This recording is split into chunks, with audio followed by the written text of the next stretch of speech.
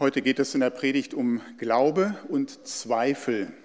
Und jeder, der in seinem Leben als Christ, in seinem geistlichen Leben ähm, voranschreitet, so wie wir das in diesen verschiedenen Schuhpaaren gesehen haben, der wird unweigerlich auch mit diesem Thema zu tun haben, dass ab und zu nicht nur Glaube, sondern auch der Zweifel da ist. Mit dem Zweifel ist das ja so eine Sache, das kann manchmal so vor sich gehen und sich in unserem Leben ausbreiten, wie in der kleinen humorvollen Begebenheit. Da will ein Mann, der in seinem Haus wohnt, ein Bild an der Wand aufhängen. Ein Nagel hat er schon, aber er hat keinen Hammer. Da beschließt er, äh, und ihm fällt ein, also der Nachbar, der hat ja einen Hammer.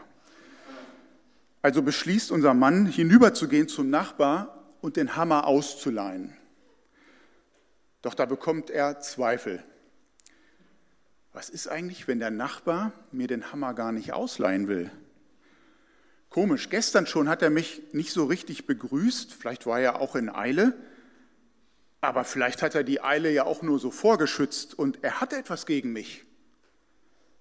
Was hat er denn gegen mich? Ich habe ihm doch gar nichts getan. Der bildet sich was ein, der Nachbar. Also, wenn mir jemand, ähm, wenn von mir jemand ein Werkzeug ausleihen würde, ich würde es ihm sofort geben Warum gibt mir mein Nachbar eigentlich mein Werk, das Werkzeug nicht? Wie kann man einen Mitmenschen einfach so einen Gefallen ausschlagen? Also Leute wie der Kerl, die vergiften einem richtig das Leben. Und dann bildet der Nachbar sich auch noch ein, äh, ich sei auf ihn angewiesen, bloß weil der einen Hammer hat. Also jetzt reicht's mir aber wirklich. Und so stürmt unser Mann hinüber, läutet an der Tür des Nachbarn und doch bevor der guten Morgen sagen kann, schreit ihn unser Mann an, Sie können Ihren blöden Hammer behalten, Sie unverschämter, geiziger Fiesling. So diese kleine Geschichte, die macht deutlich, dass manchmal aus einem kleinen Gedanken ein, ein großes Gedankenmonster, ein Zweifel entstehen kann. Und manchmal geht es mit uns, mit unseren Gedanken auch Gott gegenüber so. Glaube und Vertrauen geraten ins Wanken. Die Überschrift habe ich genannt, Glaube und Zweifel, was tun, wenn man Gott nicht mehr versteht. Wir meinen ja manchmal, dass Glaube und Zweifel, dass das zwei ganz verschiedene Welten sind. Wir meinen oft, dass man die Menschen auf dieser Welt, die kann man einfach so in zwei Lager einteilen. Auf der einen Seite, das sind die Glaubenden, die ähm, sind völlig von der Existenz und Gegenwart Gottes überzeugt und die haben nie ein Problem damit. Die können mit ihrem Glaube Berge versetzen. Und dann gibt es halt die anderen, die Zweifler, die, die nicht glauben, also die neuen Atheisten, wie sie auch genannt werden, so wie zum Beispiel der Oxforder Biologe Richard Dawkins, der in seinem Buch Gotteswahn geschrieben hat, Gott ist die unangenehmste Person der, der Literaturgeschichte. Oder dieser Autor Dan Brown, der in einigen seiner Romanen, wie zum Beispiel in dem Roman Sakrileg, versucht hat, den Christen die historische Grundlage zu entziehen. Aber ich meine, dass diese Unterscheidung, dieses Denken viel zu platt ist und nicht der Wirklichkeit unseres Lebens entspricht. Denn nicht nur Atheisten haben Zweifel, auch Glaubende haben manchmal Zweifel. Man hat zum Beispiel Billy Graham, den großen baptistischen Evangelisten und Prediger. Inzwischen 99 Jahre ist er geworden und er lebt immer noch. Den hat man vor einigen Jahren mal gefragt, ob Gott nach seinem Tod zu ihm sagen würde, gut gemacht, du guter und treuer Knecht, wie in diesem Gleichnis von Jesus von den anvertrauten Talenten. Und als man Billy Graham das gefragt hat, Billy Graham, würden Sie sagen, dass Gott das zu Ihnen mal sagt, Sie guter und treuer Knecht? Dann zögerte er lange und sagte nach einem überraschenden inneren Kampf, das hoffe ich. Martin Luther, der wurde einmal von einer älteren, von Zweifeln geplagten Dame um Hilfe gebeten. Er fragte sie, wenn du das Glaubensbekenntnis sprichst, glaubst du dann das, was du da betest? Die alte Dame, die zweifelt, ja, die sagt, natürlich, ich glaube das, was ich da bete. Dann sagt gibt Martin Luther zur Antwort, dann geh in Frieden, denn dein Glaube ist stärker und besser als meiner. Menschen in der Bibel, die in der Bibel beschrieben werden, von denen lesen wir immer, dass, immer wieder, dass sie nicht nur glauben, sondern manchmal auch Zweifel hatten. Und so ist eine der bekanntesten Personen im Neuen Testament der Bibel davon wird berichtet, der war Johannes der Täufer. Und ich lese uns mal eine Episode aus seinem Leben.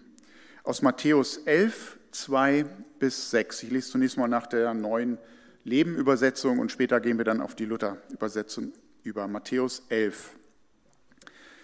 Johannes der Täufer, der damals im Gefängnis war, hörte von den Taten des Christus. Er schickte seine Jünger zu Jesus mit der Frage, bist du wirklich der, der kommen soll? Oder sollen wir auf einen anderen warten? Jesus antwortete ihnen, geht zurück zu Johannes und berichtet ihm, was ihr gesehen und gehört habt.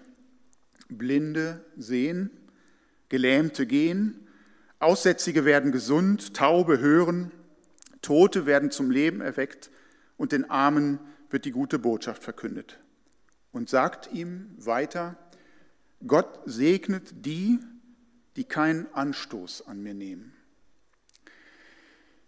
Was tun, wenn man Gott nicht mehr versteht? Vielleicht kennst du auch Situationen, in denen so ein Lebenstraum geplatzt ist und deine Vorstellung vom Leben sich nicht mehr erfüllt. Da kann es einem passieren, dass man nicht nur die Welt, sondern auch Gott nicht mehr versteht. Da wird einem Gott, an dem man ja eigentlich glaubt, fremd. Und man fängt vielleicht an, ihm Vorwürfe zu machen, weil man Dinge nicht mehr zusammenkriegt im Kopf, dass so etwas passiert und dass man dann gleichzeitig glauben soll, dass Gott ein liebevoller, barmherziger und guter Gott ist, wie wir gerade lauthals gesungen haben, der meine Geschicke gut lenkt. Und die Anlässe sind vielfältig. Da ist vielleicht der Single in einer gläubigen Gemeinde, der jahrelang dafür betet, dass Gott ihm eine Lebenspartnerin schenkt. Und dann findet er tatsächlich einen Menschen und das scheint auch zu klappen und äh, das scheint zu passen und nach kurzer Zeit zerbricht die Freundschaft. Und man fragt sich, warum Gott? Warum ist das so passiert? Da ist der schwerkranke Freund, der in der Klinik liegt und man betet wochenlang intensiv um seine Heilung und er stirbt trotzdem. Gott, warum hast du nicht eingegriffen? Was haben unsere Gebete genützt? Da bewirbt sich ein Arbeitsloser auf eine Stelle, die ideal zu ihm passen würde und der ganze Hauskreis, die beten alle ganz intensiv dafür und er bekommt trotzdem eine Absage. Und da fängt der Zweifel an zu nagen. Glaube ich vielleicht an den falschen Gott? Stimmt das alles überhaupt? Du bereitest dich auf eine Prüfung vor. Viele beten dafür, dass du dich konzentrieren kannst, dass alles gut gelingt und der Rahmen gut ist. Und dann verzögert sich das irgendwie oder du fällst durch die Prüfung durch und man versteht Gott in solchen Augenblicken nicht. Da ist ein junges Ehepaar, sie erwarten ein Kind. Liebevoll richten sie das Kinderzimmer her, sie tapezieren die Wände, kaufen schon ein Laufstellchen und Spielzeug. Der Vater baut eine tolle Wiege, die Großeltern kaufen einen Kinderwagen. Und dann kommt es zu einer Fehlgeburt. Gott, warum lässt du das zu? Ein anderes Ehepaar hat sich vorgenommen, wenn wir in ein paar Jahren beide Rentner sind, dann werden wir uns einen Lebenstraum erfüllen, eine große Kreuzfahrt machen oder irgendetwas anderes. Doch mit Ende 50 erkrankt die Frau ähm, überraschend an Krebs, fortgeschrittenes Stadium. Zwei Jahre später stirbt sie. Gott, ich verstehe dich nicht. Ich denke an ein Ehepaar aus unserer Gemeinde, deren gemeinsame Leidenschaft die Auslandsmission war und ist. Sie bereiten sich vor, besuchen Fortbildungen, Schulungen, sie lassen sich impfen, haben beide den idealen Beruf der Krankenschwester, Krankenpfleger gelernt. Sie reisen endlich aus in ein Land in Westafrika, arbeiten dort mit in der medizinischen Versorgung der Bevölkerung. Doch dann tritt bei der Frau eine dauerhafte Erkrankung auf, medizinische Komplikationen treten auf. Ein weiterer Aufenthalt in Afrika ist dauerhaft nicht möglich. Sie sind gezwungen, zurückzukehren nach Deutschland. Warum, Gott, machst du das so? Wie geht es denn mit dem zerplatzten Traum, dem Mann der, aus unserer Gemeinde, der vor einiger Zeit seine Frau an Krebs verloren hat oder umgekehrt, wo die Frau als Witwe jetzt alleine ist und der Mann an Krebs gestorben ist. Sie sind beide intensiv gläubig und haben beide ihre Hoffnung auf Gott gesetzt. Was macht denn der christliche Pastor, den seine Frau verlassen hat, der zuerst nicht mehr wusste, ob er weiter seinen Gemeindedienst ausüben kann, dem die Grundlage unter dem Boden weggezogen ist, unter den Füßen? Oder der andere christliche Pastor, der viel Liebe und Leidenschaft in seinen Pastorendienst, in die Teenager- und Jugendarbeit und Freizeiten investiert hat und dessen eigenes sechsjähriges Kind an einem Gehirntumor stirbt und der sich verzweifelt fragt, warum lässt Gott das zu? Warum ist mein Lebenstraum zerplatzt? Warum werden die Gebete nicht erhört? Und vielleicht ist da der Christ, der sich fragt, warum habe ausgerechnet ich so einen schwierigen Ehepartner geheiratet? Warum habe ich erleben müssen, dass ausgerechnet meine Ehe in die Brüche gegangen ist? Warum muss ausgerechnet ich erleben, dass ich nicht befördert werde und ich komme nicht weiter in meinem Beruf? Ich sage euch zunächst mal, warum wir Gottesdienste wie diese nicht feiern. Wir feiern hier nicht Gottesdienste und wir sind auch deshalb nicht Gemeinde, um jemanden mit dem schillernden Versprechen zu ködern, werde Christ und schlagartig lösen sich alle deine Probleme. Komm zu Jesus und schlagartig hast du auf alle deine Fragen eine Antwort. Wir sind hier nicht, um zu predigen, glaub an Jesus und alle deine Probleme sind weg und alles wird leichter.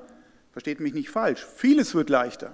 Und Jesus, wir haben es letzte Woche gehört, trägt ja mit unser Joch des Lebens, aber eben nicht alles. Das wäre nicht richtig und nicht fair und das entspricht auch nicht dem, was Jesus Christus selber den Menschen gesagt hat. Wer mir nachfolgen will, der darf nicht mehr sich selbst in den Mittelpunkt stellen, sondern er nehme täglich sein Kreuz auf sich und folge mir nach. Wer sich an sein Leben klammert, der wird es verlieren. Aber wer sein Leben für mich einsetzt, der wird es für immer gewinnen. Jesus hat nie verschwiegen, dass der Glaube an ihn zu Zeiten auch einen hohen Preis kosten kann aber dass er sich trotzdem unter allen Umständen lohnt und dass das der beste Weg ist. Wir feiern diese Gottesdienste und wir sind hier Gemeinde, um euch zu sagen, in der Geschichte mit Gott wirst du am Ende Schöneres erleben, als du dir hier in allen Träumen vorgestellt hast. Deine Geschichte mit Gott, wenn du sie mit Gott zu Ende gehst, hat auf jeden Fall ein Happy End. Aber die Frage heute, die lautet, was ist und was tun, wenn man Gott nicht mehr versteht? Was ist, wenn ich als Christ von starken Zweifeln erdrückt werde, wenn ich keine Antworten finde auf meine Fragen? Nicht, dass wir deswegen gleich alle Atheisten werden, wenn mal sowas kommt. Nein, äh, natürlich glauben wir, dass es Gott irgendwie gibt. Und, aber es geschehen manchmal Dinge, die passen mit, dem eigene, mit der eigenen Vorstellung von Gott nicht zusammen und man beginnt zu grübeln und zu zweifeln. Und jetzt kommen wir auf unseren Predigtext, den wir gerade gelesen haben. In dem Text wird berichtet über jemanden, dem es ganz genauso ging. Und es handelt sich um eine Person, eine der bekanntesten Personen im Neuen Testament der Bibel. Es geht um Johannes den Täufer. Johannes der Täufer, kurz so viel, der hat sein Leben für Gott eingesetzt. Der hat das ganze Volk zur Buße aufgerufen und tausende Menschen sind ihm gefolgt zur Taufe in den Jordan, am Jordan. Ähm, er hat die Menschen auf die Ankunft des Messias vorbereitet, so wie es im Alten Testament von ihm prophezeit wurde. Und dafür kam er ins Gefängnis. So lesen wir das hier. Das ist die Geschichte, die wir hier lesen, Matthäus 11. Und der, den er für den Messias hielt, der kam leider nicht, um ihn da rauszuholen. Er hatte mutig dem amtierenden Regierungschef, dem König Herodes, gesagt, Herodes, du lebst in Ehebruch. Du hast eine Frau an deiner Seite, mit der du lebst, die hast du einem anderen ausgespannt und das ist nicht in Ordnung vor Gott. Und dann hat der Regierungschef ihn einfach ins Gefängnis gesetzt, nur weil er die Wahrheit gesagt hat. Und was Johannes von diesem Jesus und von Nazareth jetzt so hörte, das, das reimte sich für ihn nicht so richtig zusammen. Im Alten Testament heißt es ja, bereitet dem Herrn den Weg, denn siehe, er kommt gewaltig. Und Johannes hat den Weg für den Messias vorbereitet. Aber dieser Herr, der kam irgendwie gar nicht so gewaltig, wie er sich das vorgestellt hatte. Er hatte den Messias verkündigt als einen, der die Spreu vom Weizen trennt, der die Tenne fegt und die Spreu mit unauslöschlichem Feuer verbrennt. Aber dieser Jesus Messias, der war so anders, als er erwartet hatte, dass ihm langsam Zweifel kamen, ob er denn an den Richtigen glaubt, ob er denn wirklich der Messias ist. Wenn ausgerechnet Jesus der Messias sein sollte, dann verstand Johannes Gott ihn nicht so richtig. Ich denke, auch unter uns sind heute Morgen einige Leute, die Gott nicht richtig verstehen und die an dem Gott der Bibel zweifeln, weil da eben einige Dinge in ihrem Leben passiert sind oder weil da eben einige Dinge in ihrem Leben nicht passiert sind, die mit dem Glauben an einen allmächtigen und liebenden Gott nicht zusammenzupassen scheinen. Ich möchte heute Morgen ein paar Dinge von Johannes dem Täufer lernen und wie wir mit Zweifeln umgehen können, ein paar Tipps, wie man sich verhalten kann, wenn man Gott nicht mehr versteht. Drei Tipps. Der erste Tipp heißt, wende dich an Gott selbst. Es heißt hier in Versen 2 bis 3 in Matthäus 11, als aber Johannes im Gefängnis von den Werken Christi hörte, sandte er seine Jünger und ließ ihn, also Jesus, fragen, bist du es, der da kommen soll, oder sollen wir auf einen anderen warten? Damals vor 2000 Jahren, da haben die Juden ja äh, darauf gewartet, dass der Messias kommt. Und in diese Erwartung hinein kam jetzt Jesus. Der zog umher, er predigte, er heilte viele Menschen und das führte zu vielen Diskussionen im Volk. Ist jetzt dieser Jesus der Messias? die wussten ja damals nicht, was wir heute wissen. Ist der das jetzt oder ist er es nicht? Glauben wir das Richtige, wenn wir an diesen Jesus glauben? Und das ist heute ja gar nicht anders. Alle in der Gemeinde, alle im Hauskreis, die scheinen immer nur davon zu erzählen, dass Jesus ihre Probleme löst. Aber selber erlebt man das manchmal gar nicht so. Machen sich die Christen vielleicht alle etwas vor und das wahre Leben findet vielleicht ganz woanders statt? Christen glauben ja zum Beispiel, dass Jesus bald wiederkommt. Die Wiederkunft Jesu, die wird überall in der Bibel äh, beschrieben und das lässt manche ganz schön in Zweifel kommen. Seit 2000 Jahren warten die Christen jetzt schon darauf und er ist immer noch nicht da. Wo bleibt er denn? Und er weiß, vielleicht sollte ich mich doch mal mit dem Buddhismus beschäftigen oder mal was Esoterisches lesen oder der Islam hat vielleicht doch recht oder die Atheisten. Jesus, bist du wirklich der, der kommen soll? Oder sollen wir auf einen anderen warten? Das waren die Zweifel vom Johannes den Täufer. Und Zweifel wisst ihr, die können ganz schön hartnäckig sein und die können einen kaputt machen. Und Johannes, der macht das einzig Richtige, das ist das Erste, was wir aus dieser Geschichte lernen können. Er wendet sich mit seinem Zweifel an den Bezweifelten selbst. Er geht mit seinem Zweifel zu Jesus und Jesus direkt zu fragen, das heißt heute zu ihm beten, also mit ihm reden. Und wenn dir etwas passiert, was dein Glauben ins Wanken bringt, dann ist es das Beste, was du machen kannst, dass du all deine Zweifel Jesus erzählst. Die Psalmen zum Beispiel sind uns ein großes Vorbild. Das ist ja das Gebet und Liederbuch der Bibel. Psalm 62, Vers 9, da heißt es, schüttet euer Herz vor ihm aus. Schütte dein Herz vor Gott, vor Jesus aus. Wir können das richtig rauslassen, was uns belastet und auch klagen und weinen, das ist ganz egal. Schütte dein Herz vor ihm aus und sage es ihm einfach ganz direkt, wenn du ihn nicht mehr verstehst, mit dem, was in deinem Leben passiert oder nicht passiert. Und wenn es manchmal so ist, dass du selbst gar keine Kraft mehr hast zum Beten, ich weiß nicht, ob es euch so geht, mir geht es manchmal so, und dass irgendwie kein Vertrauen mehr da ist, dann kannst du es auch so machen wie Johannes, der ja selbst auch nicht mehr zu Jesus kommen konnte. Warum? Weil er im Gefängnis war. Er war sozusagen gefangen. Und deswegen hat er seine Freunde zu Jesus geschickt. Und ich möchte das mal so als übertragenes Gleichnis auslegen. Johannes, der war im Gefängnis. Und er war vielleicht nicht nur äußerlich gefangen, vielleicht war er auch innerlich gefangen, in den Mauern des Zweifels, des Unverstehens, gefangen in den Mauern der Vorwürfe gegen Gott. Er war eingeschlossen in den Turm seiner Glaubenskrise, dass er gar nicht mehr selbst direkt zu Jesus kommen konnte. Und so geht es uns ja auch manchmal. Und was macht Johannes? Er schickt seine Freunde, seine Jünger, die zu ihm Zugang hatten, die schickt er jetzt zu Jesus. Er selbst kann nicht mehr mit Jesus reden aber seine Freunde, die tun es an seiner Stelle. Und wenn du dich in deinen Zweifeln vergräbst und vielleicht gar nicht mehr beten kannst, dann schick doch wenigstens deine Freunde zu Jesus und dass sie deine Fragen vor ihn bringen. Lass andere an deiner Stelle für dich beten. Vielleicht die Mitglieder in deinem Hauskreis. Und wenn du noch keinen Hauskreis hast, dann such dir schleunigst ein, möglichst ab nächste Woche. Sonst bist du alleine. Du hast dann keine Freunde, die du zu Jesus schicken kannst, vielleicht.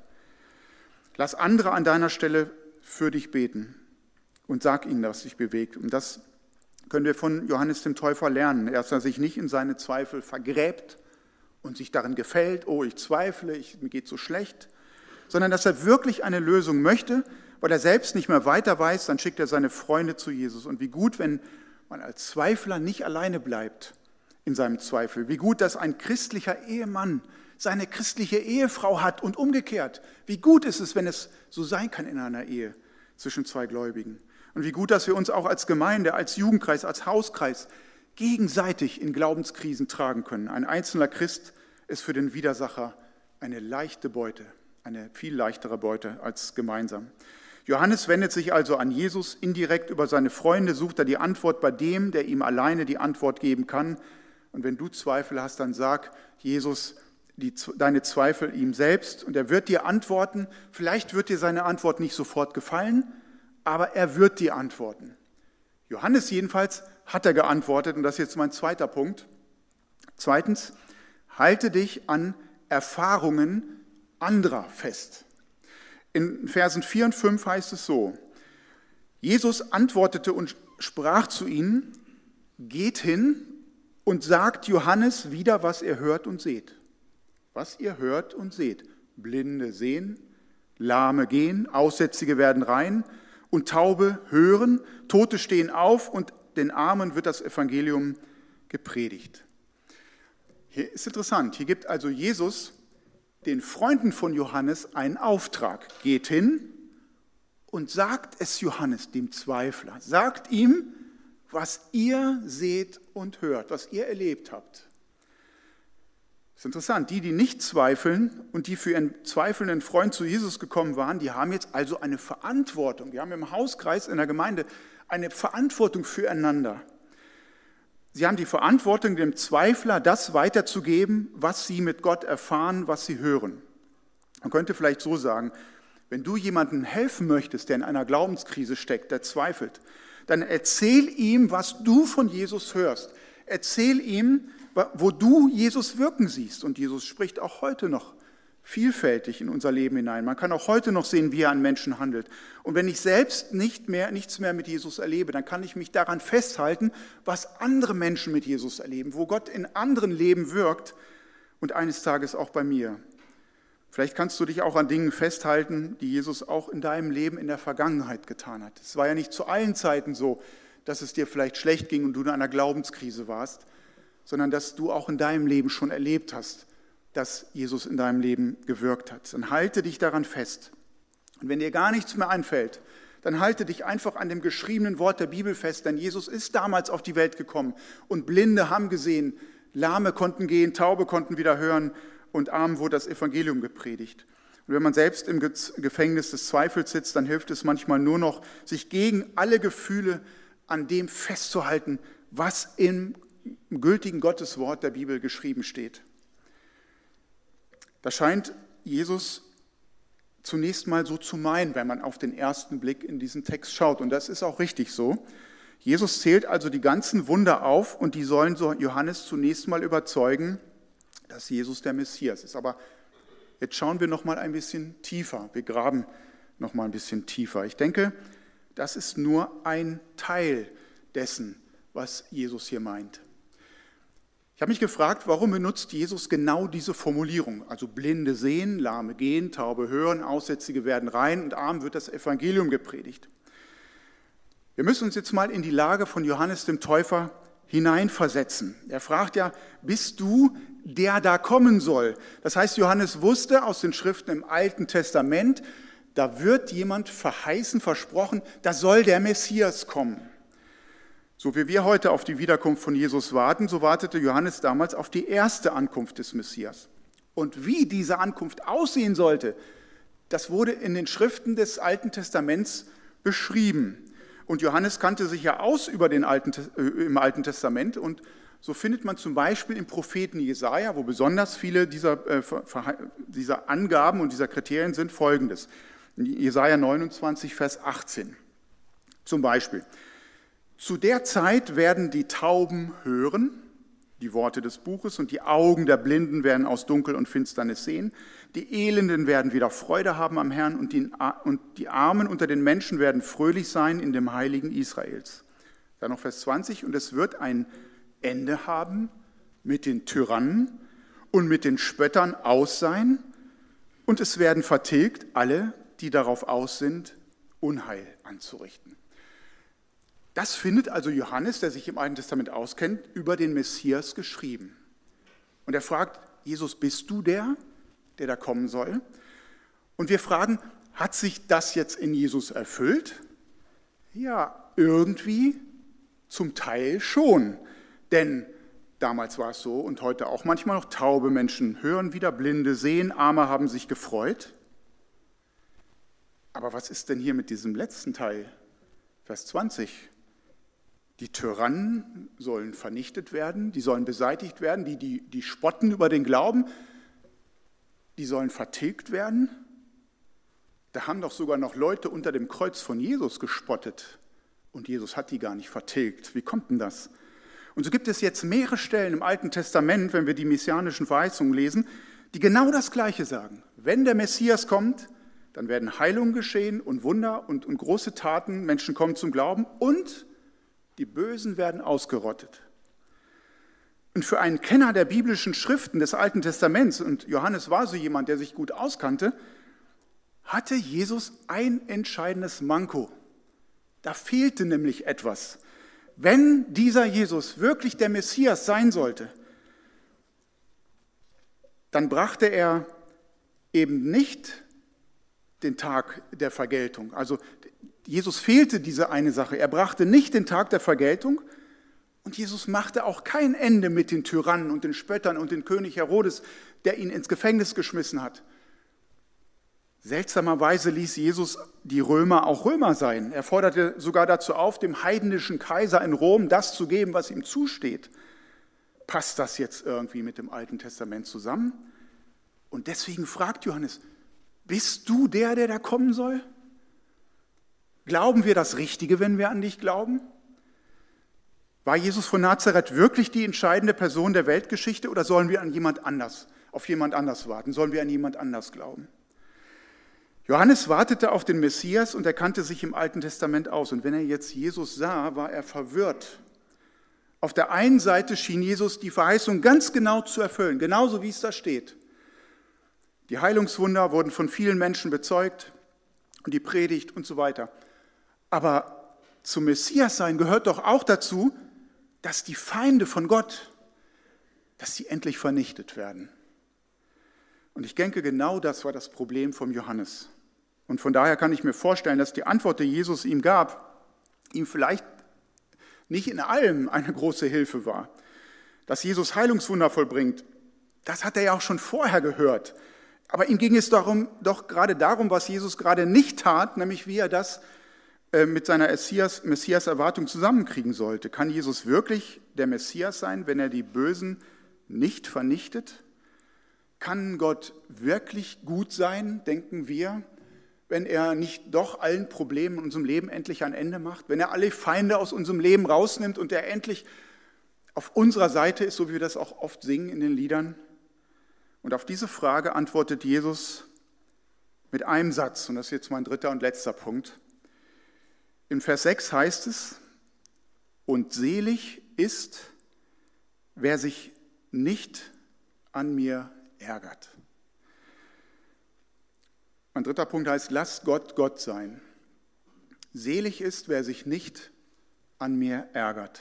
Andere übersetzen, die Neues Leben Übersetzung sagt zum Beispiel, Gott segnet die, die keinen Anstoß an mir nehmen. Die gute Nachricht Bibel sagt, freuen darf sich, wer sich Wer nicht an mir irre wird, freuen darf sich, wer nicht an mir irre wird. Oder könnte sagen, glücklich ist, wer nicht an mir zweifelt, oder dem wird es gut gehen, der sich nicht daran aufreibt, dass ich so bin, wie ich bin. Darin liegt auch ein Trost. Johannes, ähm, Jesus wusste, was den Johannes beschäftigt. Und er hätte ihm jetzt eine seitenlange theologische, alttestamentlich fundierte Erörterung schicken können, wie es denn sein kann, dass, man, dass Jesus als Messias zweimal kommen muss. Wir wissen das heute, aber Johannes wusste das damals nicht. Einmal kommt er als Retter, um die Sünden der Menschheit auf sich zu nehmen in seinem Tod am Kreuz.